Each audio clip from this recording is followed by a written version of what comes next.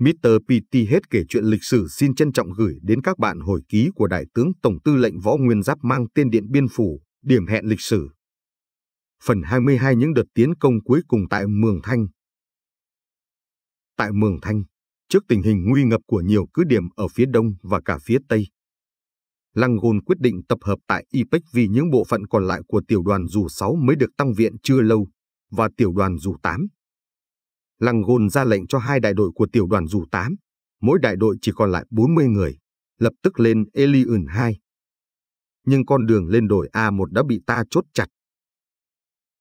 Lăng Gôn đành cho đại đội này chuyển sang Eliun 4, nơi bề giờ EC nhắc cũng đang khẩn thiết đòi tăng viện.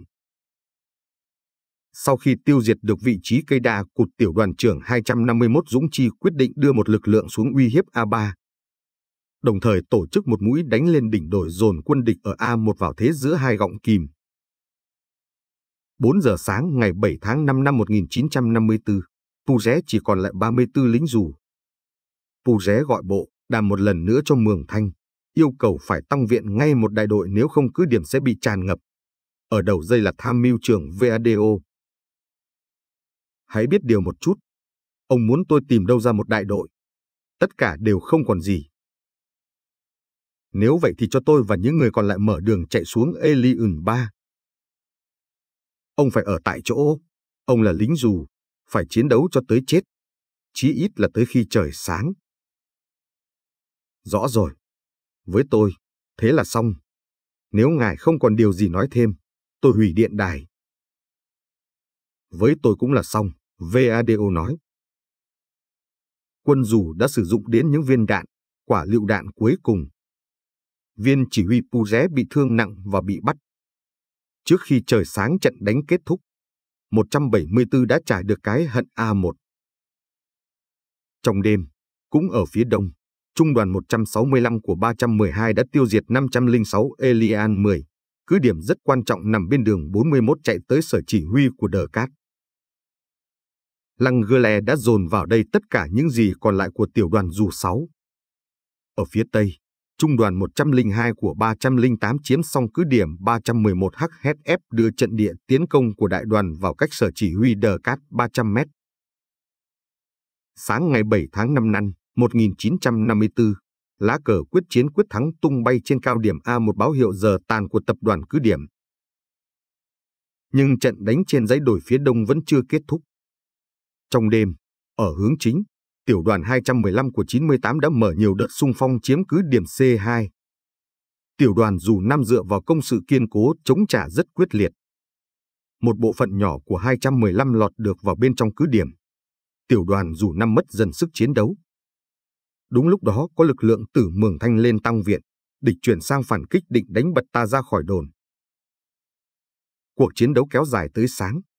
Các chiến sĩ của ta chỉ còn cố bám giữ lấy đầu cầu, mũi vu hồi của tiểu đoàn 439 đánh vòng theo hướng Tây Bắc, nhằm chia CATC-2 với Mường Thanh. Gặp địa hình chống trải bị hỏa lực từ C2 và pháo ở Mường Thanh tiêu hao khi tiếp cận, đột phá không thành công. Thấy trận đánh ở C2 kéo dài, tôi gọi điện cho anh Lê Quảng Ba, nhắc 174 đã chiếm xong A1, tận dụng hỏa lực bắn thẳng của ta từ A1 chi viện cho 98 ở C2 đưa ngay lực lượng dự bị trung đoàn 9 vào chiến đấu. Pháo chiến dịch sẽ kiềm chế pháo địch ở Mường Thanh, dành riêng cho C2, 200 quả pháo 105. Cần nhanh chóng tiêu diệt được C2 để làm chủ hoàn toàn các cao điểm phía đông. Sau 7 giờ 30, pháo ta vừa ngừng chế áp, tiểu đoàn 215 và đại đội 138 của tiểu đoàn 375 chia làm 3 mũi xung phong lên C2.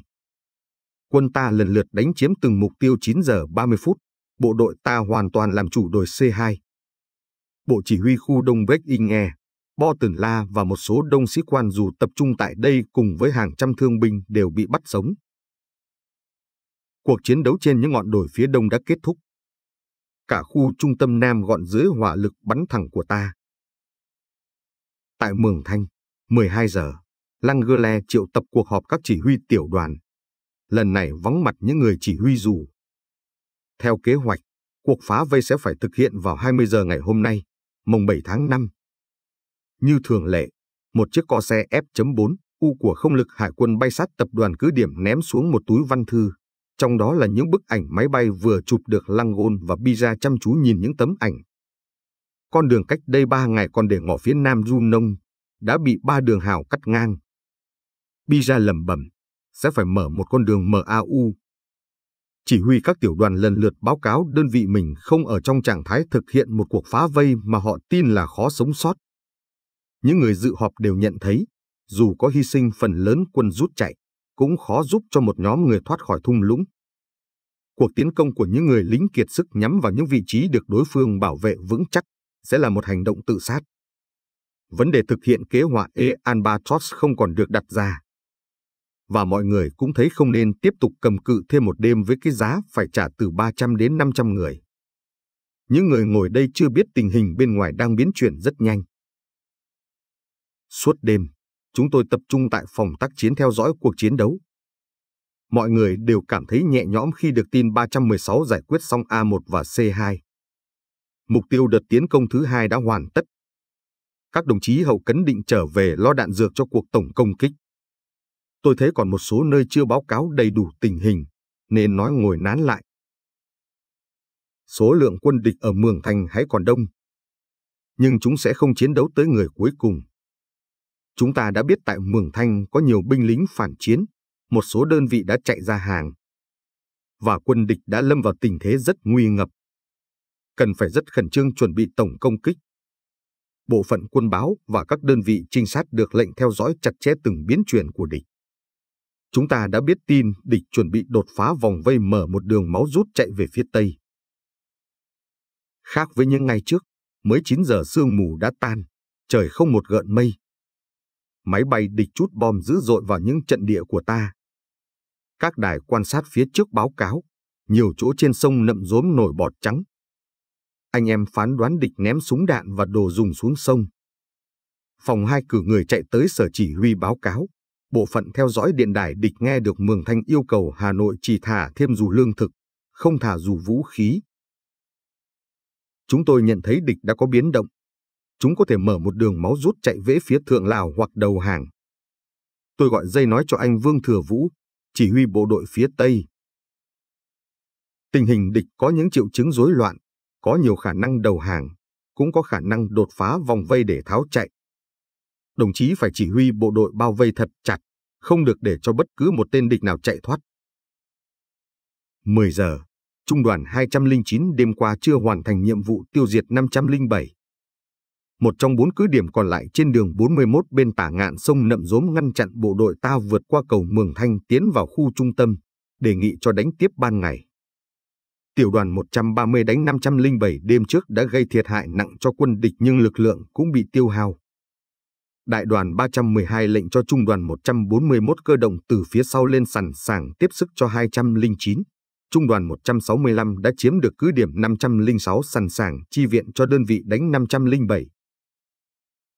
Buổi trưa, trinh sát báo cáo máy bay vận tải hai thân chỉ lượn một vòng trên bầu trời Mường Thanh, không thả dù tiếp tế, quay trở về Hà Nội. Trên sông Nậm Rốm vẫn nổi những đám bọt trắng.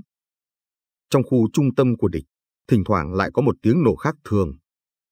Bộ phận theo dõi điện đài nghe được những viên phi công và quân địch ở Mường Thanh trao đổi với nhau lời chào vĩnh biệt. Bộ chỉ huy chiến dịch quyết định cuộc tổng công kích sẽ diễn ra khi trời tối, sau 14 giờ, pháo chiến dịch bắn mãnh liệt vào khu trung tâm tập đoàn cứ điểm, dọn đường cho cuộc tiến công cứ điểm 507 của 209. Những cứ DLM 505 và 505A đối diện với 507 lúc này do tiểu đoàn 154 của Nguyễn Năng và đại đội trợ chiến của tiểu đoàn 166 chốt giữ. Lực lượng ở đây gồm chủ yếu là đại đội 325, đơn vị đã phòng ngự từ ngày đầu mới được tăng cường thêm những bộ phận của đại đội 520 và 530. Tiểu đoàn phó tiểu đoàn 154 Ngô Trọng Bảo có mặt ở Tiền Duyên nhận thấy quân địch chống cự yếu ớt quyết định cho bộ đội mở hàng rào ngay trong lúc pháo ta còn chế áp quân địch. Với sự chi viện của trợ chiến, chỉ sau bốn quả bộc phá, bộ đội ta đã lọt vào trong cứ điểm 507.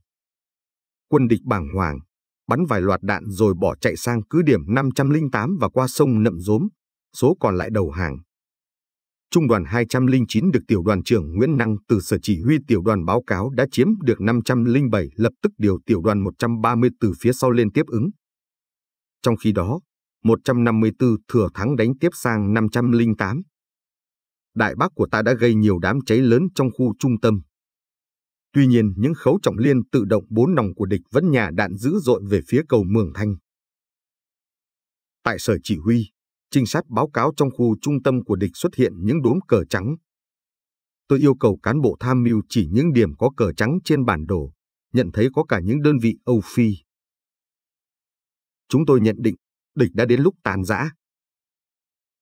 Đúng 3 giờ chiều, các đại đoàn được lệnh, không cần đợi trời tối, lập tức mở cuộc tổng công kích vào Mường Thanh. Đơn vị phía đông đánh thẳng vào khu vực trung tâm, đơn vị phía tây giáp công sang, cùng tiến vào sở chỉ huy của địch. Phải đánh thật mạnh, bao vây thật chặt, không để cho đờ cát hoặc bất cứ tên địch nào chạy thoát. Tại trận địa, đại đội 360 của tiểu đoàn 130, có chính trị viên tiểu đoàn Trần Quải đi cùng, đã có mặt ở cứ điểm 508. Tiểu đoàn phó Ngô Trọng Bảo cho các lực lượng của 154 tiến sang cứ điểm 509, cứ điểm cuối cùng bảo vệ cầu Mường Thanh. Rồi trao đổi với chính trị viên Trần Quải, lệnh cho đại đội 360 tiến vào khu trung tâm, nơi lửa khói của những đám cháy mỗi lúc càng bốc cao. Đại đội trưởng Tạ Quốc Luật lập tức dẫn đại đội 360 luồn dưới làn đạn của những khẩu trọng liên bốn nòng, băng qua cầu Mường Thanh. Nhận thấy quân địch hầu như không chống cự, Tạ Quốc Luật cho bộ đội rời giao thông hào đẩy áp quân địch, nhảy lên mặt đất, dùng một lính ngụy dẫn theo đường tắt tiến thật nhanh tới sở chỉ huy của Đờ Cát. Các đài quan sát báo cáo về, quân ta từ ba phía đang đánh vào khu trung tâm, 312 từ phía đông tiến qua cầu Mường Thanh, 308 từ phía tây mở đường qua sân bay, và từ phía tây nam mở đường. Vào Lily, hướng về sở chỉ huy của Đờ Cát, quân địch chỉ chống cự lẻ tẻ. Nhiều toán địch ra hàng. Những đốm cờ trắng xuất hiện ở Mường Thanh mỗi lúc một nhiễu. Anh Thái luôn luôn nhắc các đơn vị, bao vây chặt, không để một tên nào chạy thoát. 5 giờ 30 chiều, 312 báo cáo lên, toàn bộ quân địch tại khu trung tâm đã đầu hàng, đã bắt được tướng Đờ Cát. Cả khu rừng cơ quan chỉ huy mặt trận, từ xưa đến nay rất nghiêm mật, bỗng sôi lên trong những tiếng ầm ầm như biển động. Cán bộ, chiến sĩ hò reo, khua chân múa tay, ôm nhau nhảy nhót, biểu lộ sự vui mừng như những em nhỏ. Có người chỉ hét, có người mồm há to, có người mặt tái ngắt. Sự vui mừng chưa đến với tôi. Có chắc chắn là đã bắt được tướng giặc không? Ở Hồng Cúm, vẫn còn một ngàn giữa quân địch. Từ Mường Thanh, các đơn vị báo cáo lên, binh lính địch lũ lượt kéo ra hàng. Có tên vừa đi vừa hát. Các chiến sĩ ta cũng ra khỏi công sự, nhảy múa trên giao thông hào. Nhiều anh em bắn súng chỉ thiên và pháo hiệu xanh, đỏ để mừng thắng trận. Bộ Chỉ huy chiến dịch ra lệnh cho các đơn vị, cuộc chiến đấu chưa chấm dứt. Tất cả phải ở vị trí chiến đấu. Không được để một tên địch nào chạy thoát. Lập tức dùng hệ thống loa địch vận kêu gọi và hướng dẫn địch ra hàng. Khẩu hiệu như sau, hãy ra hàng. Các anh sẽ được đối đãi tử tế. Cầm cờ trắng, đi ra phải có trật tự. Cấm không được phá hoại vũ khí, đạn dược. Ai còn mang súng, phải trúc đầu súng xuống đất. Ngay sau đó, tôi hỏi anh Lê Trọng Tấn. Có đúng là đã bắt được Re Casti không? Báo cáo anh, anh em báo cáo lên là đã bắt được. Căn cứ vào đâu mà biết nó là Re Casti? Anh Tấn im lặng. Cần bắt cho được đờ cát, không được để địch đánh cháo tên chỉ huy. Phải đối chiếu nhân dạng với căn cước, kiểm tra cấp hiệu, phù hiệu các đồng chí chịu hoàn toàn trách nhiệm về việc này. Các đồng chí có ảnh của Re Casti chưa? Đơn vị trả lời không có.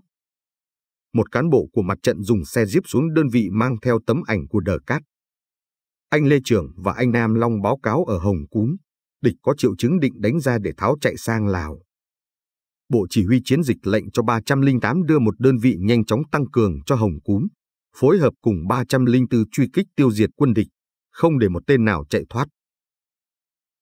Trung quanh vẫn ầm ầm, không sao hạn chế được sự ồn ào, niềm vui của mọi người. Các đồng chí vệ binh hạ những cánh cửa liếp xuống cho sở chỉ huy yên tĩnh hơn. Lệnh cho 312 phải báo cáo nhanh về việc bắt đờ cát được nhắc lại. Mỗi phút chờ đợi lúc này rất dài. Lát sau, anh Lê Trọng Tấn gọi dây nói báo cáo. Đúng là đã bắt được đờ cát cùng toàn bộ bộ chỉ huy tập đoàn cứ điểm. Đờ cát vẫn mang cấp hiệu. Ta đã kiểm tra kỹ giấy tờ và chữ ký của y. Tôi hỏi lại. Đồng chí đã thực mắt nhìn thấy đờ cát chưa? Anh Tấn vui vẻ đáp.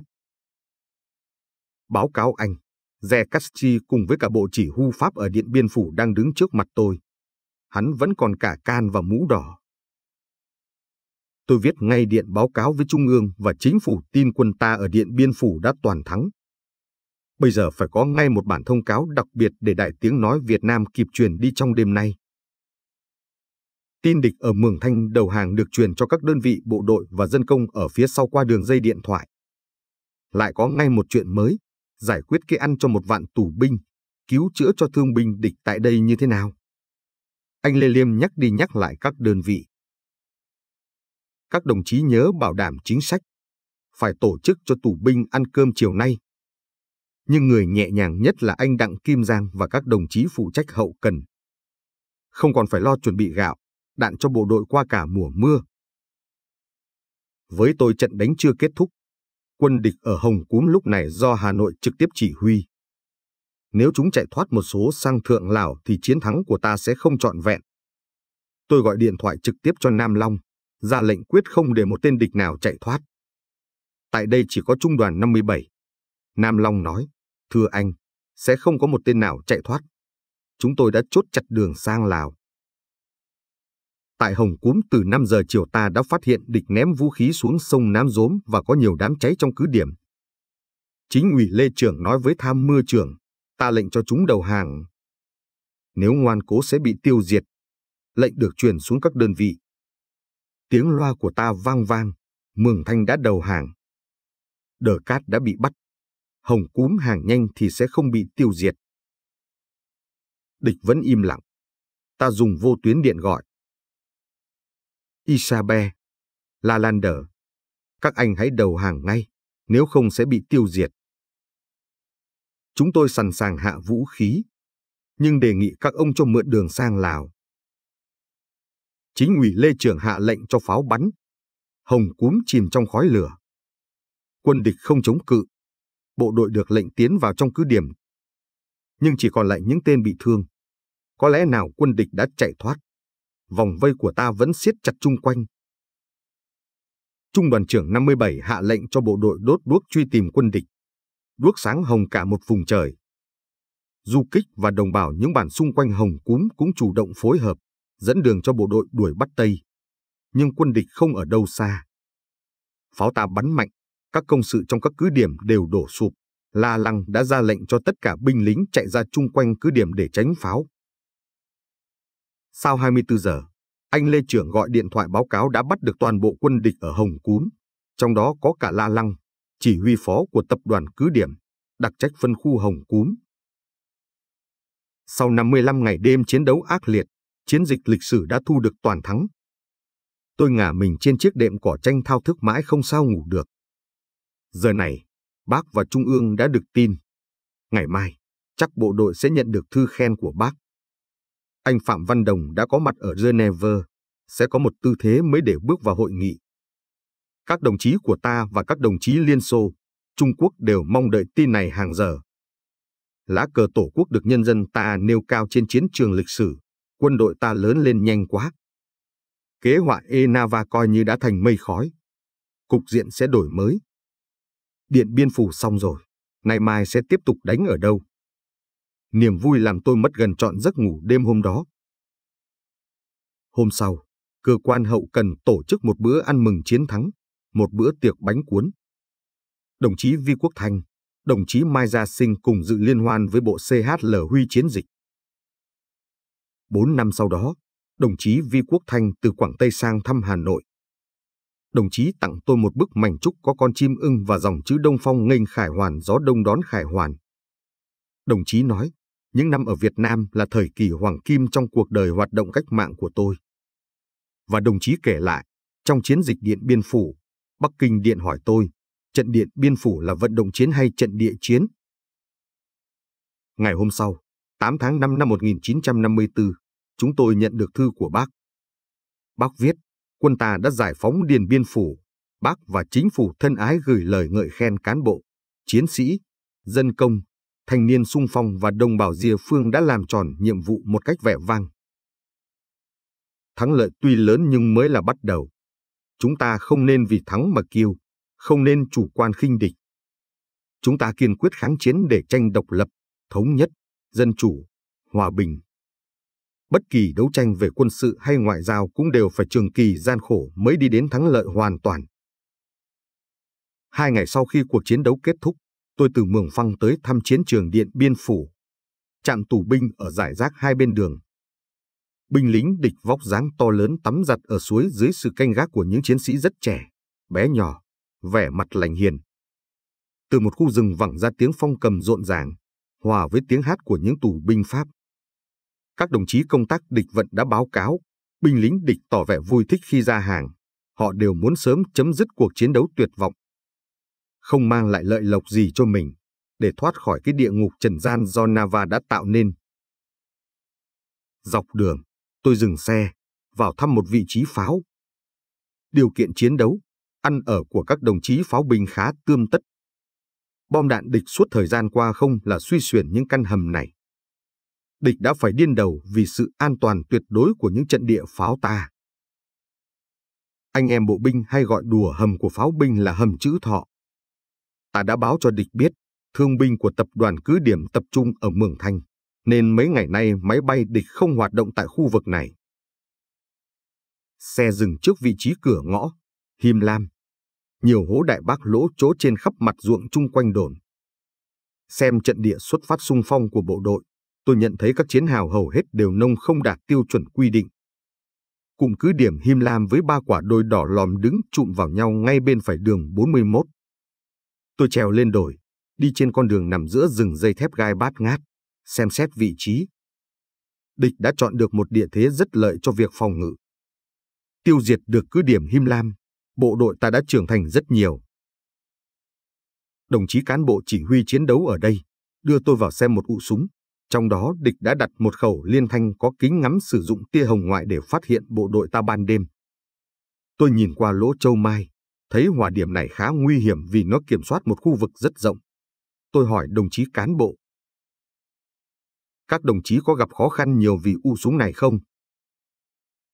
Đồng chí đó tươi cười đáp. Báo cáo anh. Ít thôi. Vì sao? Sau trận đánh, chúng tôi hỏi tên bắn súng máy ở đây. Nó nói, khi bộ đội ta bắt đầu bắn, nó ngồi thụp ngay xuống, nên không nhìn thấy bộ đội ta tiến vào đồn. Đi khỏi Him Lam, trước mắt tôi, đột ngột hiện ra một cánh đồng. Mường Thanh đây rồi. Cánh đồng rộng hơn nhiều so với khi tôi đứng ngắm nó từ đỉnh núi Mường Phăng. Nó chạy dài tít tắp đến chân dãy núi phía nam. Cơn mưa thép đã tạnh. Cánh đồng phẳng lặng trang điểm những chiếc dù màu sắc rất tươi, như nở đầy hoa.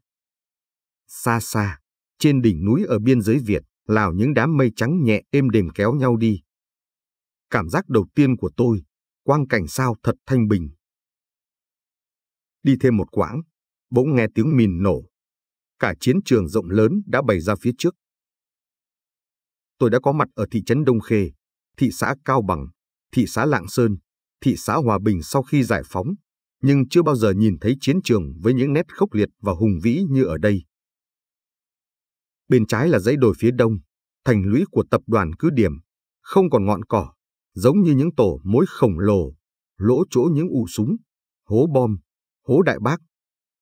Bên phải đường 41, từ chân những quả đồi ra đến bờ sông nậm rốm, nằm trên một cánh đồng hẹp, là những vị trí địch dày đặc.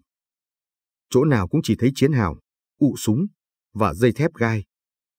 Đất bị sới lộn khắp nơi, như bị nung đỏ từng tấc đều như thấm máu quân thù và cả nỗi kinh hoàng của chúng. Giải rác còn những xác chết chưa kịp chôn đen đặc ruồi, những bãi rác bốc hơi kinh khủng.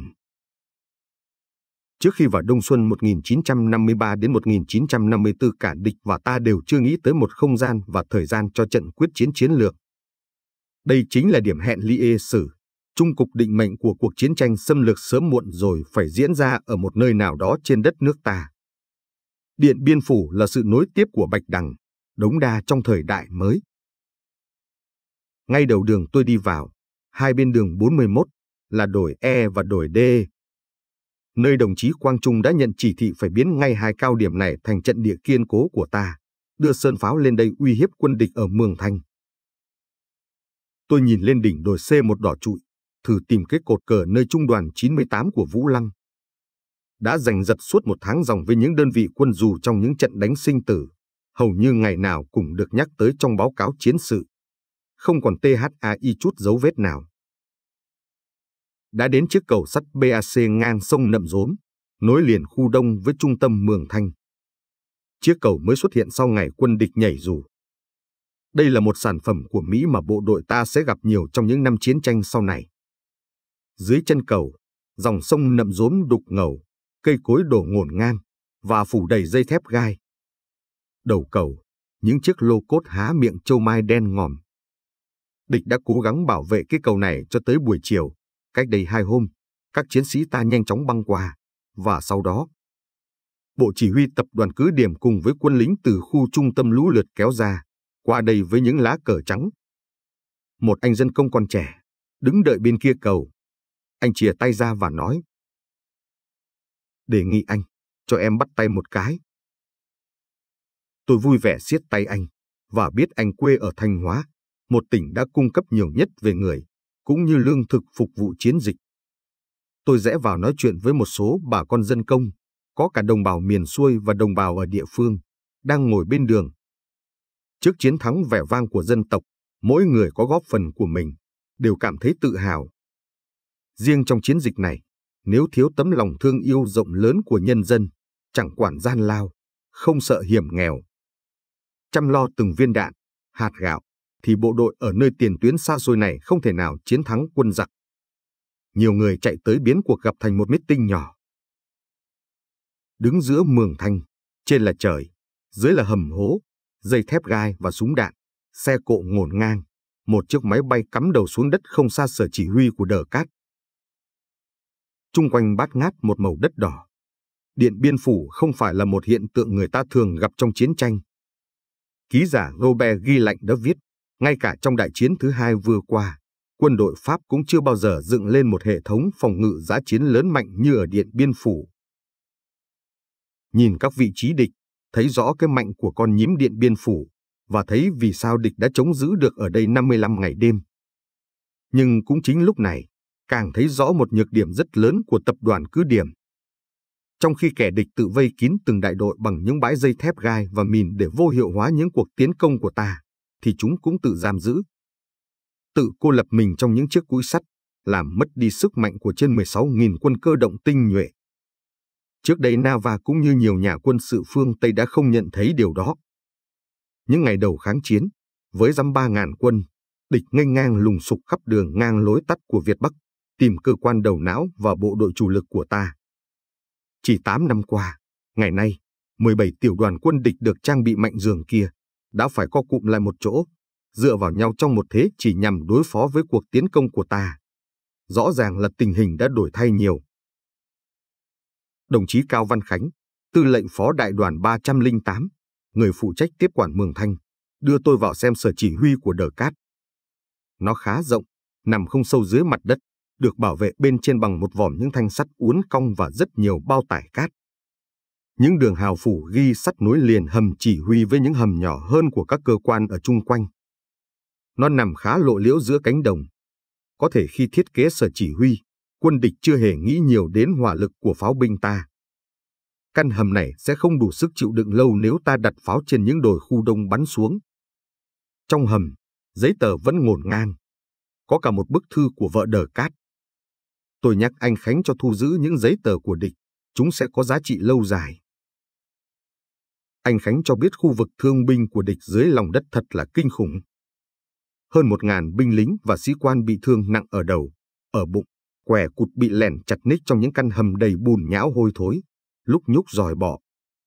Thương binh địch rên xiết, kêu khóc, đòi cứu chữa, đòi ăn, đòi uống. Nhân viên y tế của Pháp tỏ ra hoàn toàn bất lực. Một bác sĩ trẻ tốt nghiệp trường đại học y khoa Pháp nói, từ khi đặt chân xuống Điện Biên Phủ, tôi chỉ giúp trong cái xó này, có làm được gì đâu và trong tình cảnh này, chúng tôi có thể làm gì? Hơn hai chục bác sĩ và mấy chục nhân viên quân y Pháp cũng bị đói, thân hình gầy guộc, mệt mỏi, phở phạc. Anh Khánh cho biết có người nữ hộ lý duy nhất, tên là De Gala Genevieve Galat, đã được những thương binh Pháp coi là thiên thần. Tôi nói điều ngay tới một đội điều trị kết hợp với nhân viên y tế của Pháp cứu chữa thu ứng binh, có thể cho phía Pháp xuống lấy thương binh nặng như ta đã làm ở Thất Khê trong chiến dịch biên giới. Phải tổ chức ngay việc tẩy uế chiến trường để tránh dịch bệnh, cho chuyển thương binh địch từ dưới hầm lên khỏi mặt đất. Và sớm cho cô hộ lý duy nhất tại đây trở về với gia đình. Sau đó đội điều trị ba đã được điều tới Điện Biên Phủ đảm nhiệm công việc vất vả này. Để có vôi bột tẩy uế chiến trường, quân y ta đã phải tìm một chiếc lò vôi hồng ở cây số 15 cách Điện Biên Phủ 60 km, tìm trong dân công những người biết dùng đá nung vôi. Những chị em dân công được chọn làm hộ lý, sôi sục căm thù quân địch đã cướp bóc, đốt phá làng mạc quê hương, cướp đi của họ những người thân ngay trên chiến trường này. Khi được giải thích kỹ chính sách của Đảng đã cùng các chiến sĩ quân y của ta di chuyển thương binh địch lên mặt đất và cứu chữa cho chúng. Ít ngày sau, được phép của ta, máy bay Pháp hạ cánh xuống sân bay Mường Thanh để chở đi những thương binh nặng. Từ chiến dịch biên giới, đây là lần thứ ba ta cho quân Pháp làm việc này. Một người lính da đen trước khi rời Mường Thanh đã ứa nước mắt nói với một bác sĩ ta. Thưa ông, từ khi tôi có trí khôn, ngoài mẹ tôi ra, bây giờ tôi mới biết đến sự dịu dàng và lòng yêu thương. Phải chờ đợi hồi lâu mới có người dẫn lên xem A1, chiếc chìa khóa của Điện Biên Phủ. Anh em đã mất nhiều công dọn một lối đi an toàn giữa những bãi mìn. Tôi đứng nhìn đường hào sâu chạy từ chân đồi lên đỉnh. Đây chính là con đường tiếp viện kín đáo đã làm cho trung đoàn 102 của Hùng Sinh ôm hận. Đường chiến hào của 14 chạy men theo hàng rào của cứ điểm A3, đâm thẳng vào cây đa cụt, như vết chém của thanh kiếm khổng lồ cắt rời cao điểm này ra khỏi khu trung tâm nằm dưới cánh đồng. Trước ngày nổ súng đánh A một lần cuối, Bộ Chỉ huy Chiến dịch đã theo dõi từng đêm bước tiến đầy gian khổ của đường hào này. Trên đỉnh đồi là chiếc xe tăng, nòng pháo đã gục xuống, lỗ chỗ vết đạn. Mỗi tấc đất đều mang dấu vết của cuộc chiến đấu quyết liệt. Dưới chân tôi toàn một thứ đất đỏ nát vụn như cám, trộn đầy những mảnh gang những đầu đạn đồng lớn, nhỏ, những đoạn dây thép gai. Một đồng chí cán bộ chỉ cho tôi cái hầm ngầm nằm náu kín dưới ụ đất cao. Cách đó một quãng, khối thuốc nổ một tấn đã để lại trên mặt đồi một hố hình phễu khá sâu. Tôi vào xem hầm ngầm. Nó không phải một công trình phòng ngự chiến đấu, chỉ là một khối gạch đá và xi măng kiên cố được bồi đất dày bên trên. Nối với những hào sâu chạy về phía sau, khi ta tiến công thì địch rút vào đây và dùng pháo bắn bên trên để ngăn chặn. Đường hầm của ta đưa thuốc nổ vào, dài 47 mét, nhưng vẫn còn cách hấm ngầm địch hơn 30 mét, nói lên trình độ nắm địa hình, xác định vị trí hầm ngầm của ta còn thiếu chính xác.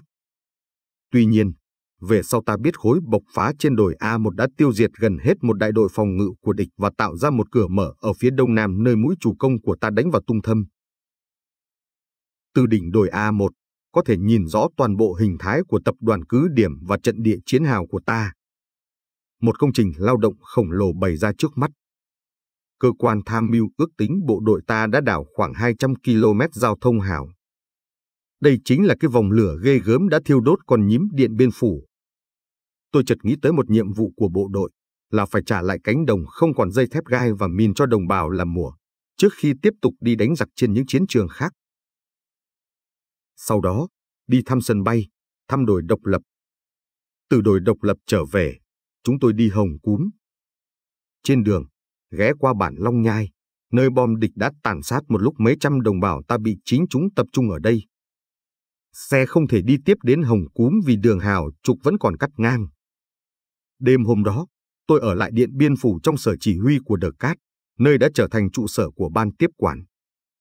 Niềm vui chiến thắng đã lắng lại. bao nhiêu đồng chí đã vĩnh viễn nằm lại Him Lam, đồi độc lập, đồi A1, những đồi C, đồi D. Những người hầu hết còn ở lứa tuổi đôi mươi. Sự hy sinh của các anh không uổng phí. Các anh đã cho quân xâm lược một bài học nhớ đời. Sau này đọc cuốn sách của một thầy thuốc ở Điện Biên Phủ, tác giả kể lại nhiều binh lính Pháp chết không hề có thương tích. Những gì ta mang lại cho quân địch đã vượt lên sức chịu đựng của những con người không biết mình đang chiến đấu cho ai, chiến đấu để làm gì. Hết phần 22. Mr. PT hết kể chuyện lịch sử xin cảm ơn và hẹn gặp lại các bạn.